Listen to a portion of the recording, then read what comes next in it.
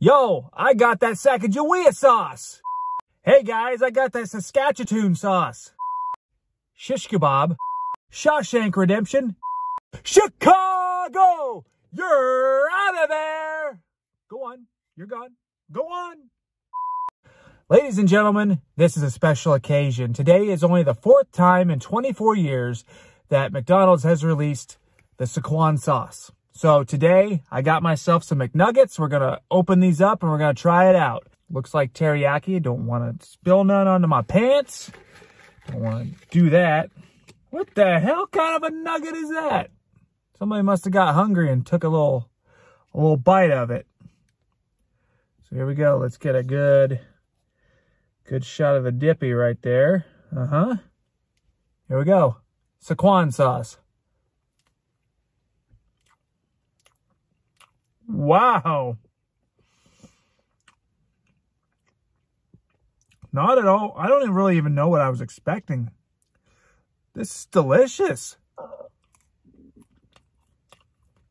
Why the hell y'all only releasing this every six years? You guys think you're the Walt Disney Company or something? Throwing your sauces into a vault and releasing it every so often? Look at that. Let's get another shot of the dip here. Let's get a good dippy on there. It's not spicy. Mmm. That is actually really good. It almost tastes like a wing sauce. Like teriyaki wings. That is pretty damn good. But like I was saying, what are y'all doing? And this was only available for a couple of days on the app. It was an app exclusive. If you can, go out and try this. If you've never tried it before, this is the first time I've ever had it.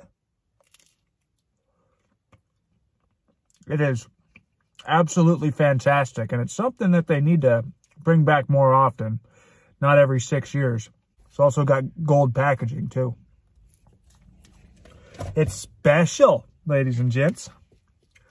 We're going to finish all this sauce out of here. Get that dip. Oh, yeah.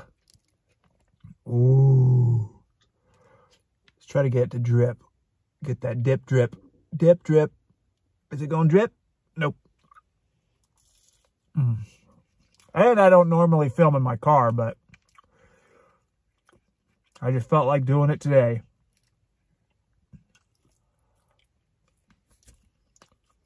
McDonald's Szechuan sauce. Very delicious. Very good. Thanks for watching, everybody. And I'll see you again real soon. Peace!